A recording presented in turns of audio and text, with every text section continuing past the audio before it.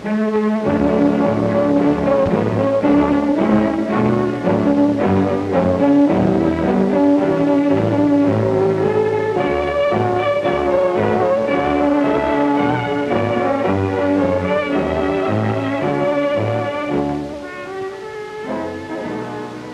is Hustler, the Convair B-58, America's newest and fastest manned bomber, a weapon system which cruises at twice the speed of sound.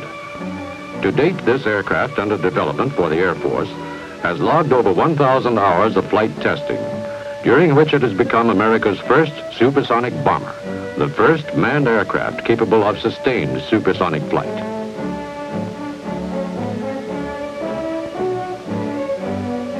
It has further demonstrated successful weapon release at twice the speed of sound and has successfully air-launched a ballistic missile while flying at supersonic speed. These sensational accomplishments represent new dimensions for air strategy. This film is designed to acquaint you briefly with the concept, mission, and potential of the B-58 as a weapon system for the United States Air Force. The Delta Wing B-58, a relatively small aircraft, is a high-altitude intercontinental strategic bomber designed to take advantage of technological achievements in nuclear weapons. Its relative smallness, which represents a departure from the trend toward bigger and bigger bombers, allows the B-58 to achieve Mach 2 performance, gives the airplane greater operational flexibility, and increases its probability of mission success and crew survival. The Hustler, powered by four General Electric J79 engines, is manned by a crew of three, pilot, navigator bombardier, and defense system operator. Its payload is carried in a disposable pod suspended beneath the fuselage. This pod houses the nuclear warhead, and in addition carries fuel for the outgoing leg of the mission. Use of the external pod gives the B-58 great flexibility and load allows smooth, clean separation of the bomb at supersonic speeds and gives the aircraft a definite performance advantage after bomb release because of reduced frontal area. The B-58, unhampered by an empty bomb bay after weapon delivery, becomes a small, fast, maneuverable vehicle, which is ideally suited for escape and evasive maneuvers. The ability of the B-58 to penetrate enemy defenses is provided by its supersonic speed and its advanced system of active and passive defense. The value of Mach 2 speed as a penetration aid can be realized by comparing performance of typical local defense missiles against a subsonic bomber penetrating at 8 tenths the speed of sound and the B-58 penetrating at twice the speed of sound. Two missile batteries defending a target will be able to fire six salvos at the subsonic bomber prior to bomb release. But the same two batteries will barely have time to fire two salvos at the B-58. This shows a three to one survival advantage for the B-58 over the subsonic bomber by virtue of speed alone. Against manned interceptors, the story is essentially the same. A typical all-weather high-performance interceptor climbing at nine-tenths the speed of sound has ample time for two passes at the subsonic bomber. The same interceptor has only one shot at the B-58. To make this, the interceptor must climb to 50,000 feet, accelerate to supersonic speed, and attempt interception. The slightest error in ground vectoring or intercept fire control will result in a miss. To reduce further the effectiveness of enemy missiles and interceptors, the B-58 carries a highly advanced deception jamming system, specially designed for supersonic bombing missions. This system, which operates automatically, disguises the aircraft's true location by flooding the enemy's search radar scopes with false targets. It also disrupts tracking radars which attempt to lock on the B-58. The aircraft is protected against interceptor attacks from the tail region by a 20 millimeter gun which is radar controlled. The system has automatic target acquisition and is capable of all-weather operation. Navigation and bombing accuracy for the B-58 is assured by an extremely accurate and fully automatic nav bomb system, which provides worldwide dead reckoning under all weather conditions and includes provisions for taking radar fixes.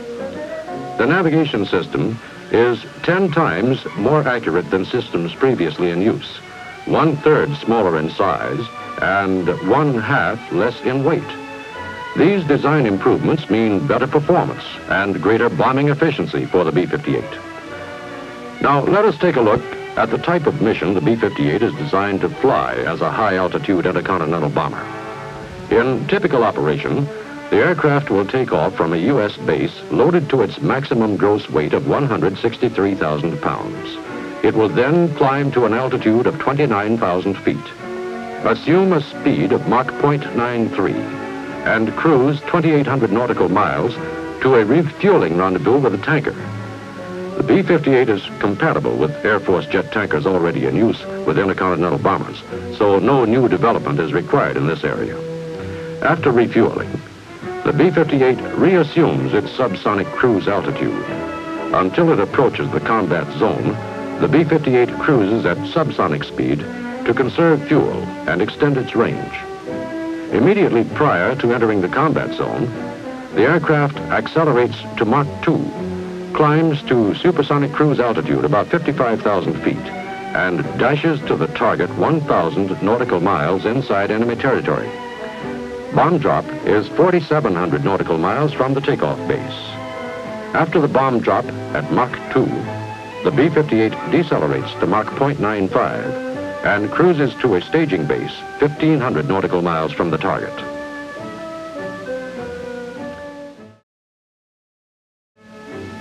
Although the B-58 weapon system was conceived as a high-altitude bomber, its rigid structure makes the aircraft equally adaptable to low-level penetration. The delta wing platform permits the B-58 to attain a sea level speed of Mach 0.93 this high cruise speed of more than 700 miles per hour on the deck gives the B-58 an additional high penetration advantage as it slips undetected beneath the enemy's radar field of vision.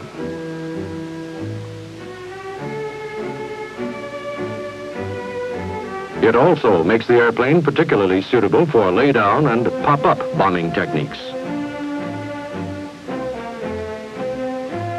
Operating from U.S. bases with one in-flight refueling and post-strike staging, the B-58 can threaten 87% of the Soviet target system.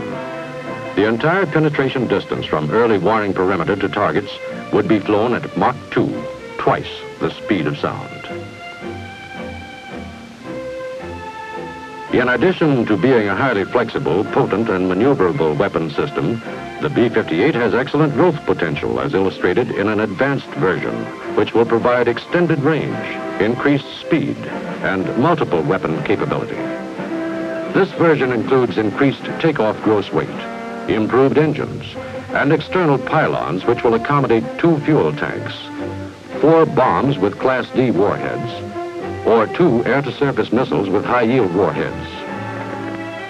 In a typical single-weapon, single-refuel mission, this advanced version of the B-58 would take off from a United States base at its maximum gross weight of 186,000 pounds, climb to 26,500 feet, and assume a subsonic cruise to its refueling rendezvous with a tanker 2,600 nautical miles from takeoff base. After refueling, the B-58 would assume a cruise speed of Mach 0.93 Immediately prior to entering the combat zone, the aircraft would accelerate to Mach 2.2, climb to an optimum cruise altitude, dash 1,520 nautical miles to the target inside enemy territory, and release its bomb from a target altitude of 63,000 feet. Bomb drop would be 5,120 nautical miles from takeoff base. After bomb drop at Mach 2.2, the aircraft would decelerate to Mach 0.95 and cruise to a staging base. Modifications incorporated in this advanced version of the B-58 will give the aircraft an increase in target altitude, a 10% increase in speed, and will extend its range for single weapon, single refuel missions up to 23%, depending on the mission. The multiple weapon capability of this aircraft, achieved by trading off the two fuel tanks for additional weapons, can best be shown by illustrating a typical mission. The payload for this mission will be the regular bomb pod with Class C warhead and two air-to-surface missiles which meet Air Force requirements for Weapon System 138A. On this multiple weapon mission, the B-58 and a tanker aircraft take off from Bunker Hill Air Force Base inside the continental United States. Refueling is accomplished 2,660 nautical miles from takeoff. After refueling, the B-58 assumes a cruise speed of Mach 0.93 and continues toward enemy territory while the tanker turns back 1,000 nautical miles to Thule. Immediately prior to entering the enemy's early warning perimeter, the aircraft accelerates to Mach 2.2 and launches its two air-to-surface missiles against separate targets 1,200 nautical miles inside enemy territory. The B-58 then penetrates 1,100 nautical miles to its primary target, releases its bomb, decelerates to Mach 0.95, and cruises to a post-strike staging base. Bomb drop on target would be 4,700 nautical miles from the takeoff. Missiles would strike secondary targets 4,800 nautical miles from takeoff. The improved range and striking power of this aircraft will make it possible for the B-58 to threaten 100% of the Soviet target system from bases within the continental United States. It is suitable for both large and small wars and for both global and theater operations. In the continental United States, there are more than 300 existing military airfields from which the B-58 can be operated. The aircraft can also operate from any major civil airport. Overseas, the B-58 can operate from some 250 existing air bases currently available to the United States.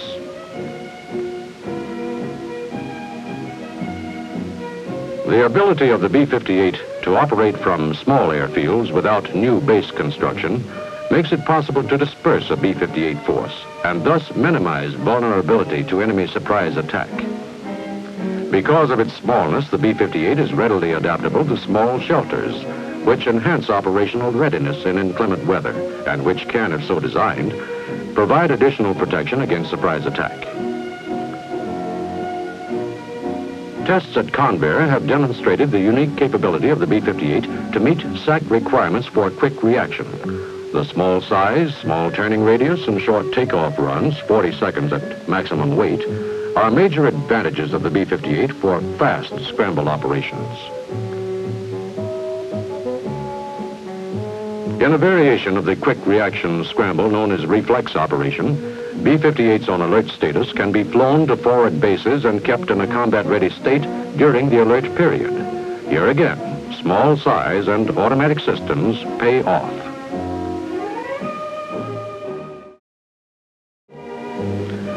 The B-58's operational flexibility, intercontinental range, and Mach 2 performance also make it adaptable to continuous airborne alert operation.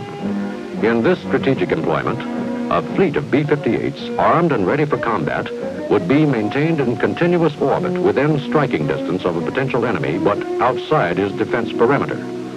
This alert force, organized primarily to deter a surprise attack, would be able to retaliate against such attack within minutes from the start of hostilities.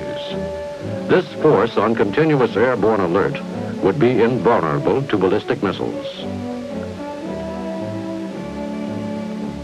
The B-58 has been designed and developed for the Air Force by Convair Fort Worth under the Weapons System Management concept. In this management partnership with the Air Force, Convair, as weapon system manager, has sought the cooperation and drawn on the resources of 16 subsystem contractors and approximately 8,500 other vendors scattered across the nation. 49.9% of the B-58 dollar has gone to subsystem vendors and an additional 15.7% to vendors of materials and outside production, making the B-58 in reality a national production effort. A number of B-58s are now being used for development flight testing by Convair and the Air Force. The first B-58 weapon system for tactical use will be delivered to the Strategic Air Command in October 1959. The Convair Supersonic B-58 gives the United States Air Force a high-performance intercontinental strategic weapon system which is capable of high-altitude and low-altitude bombing missions, adaptable to large and small wars, and suitable for both global and theater operations. In this age of highly specialized, costly, and single-mission weapons, the unique flexibility of the B-58 weapon system brings new efficiency to the striking power of the United States Air Force.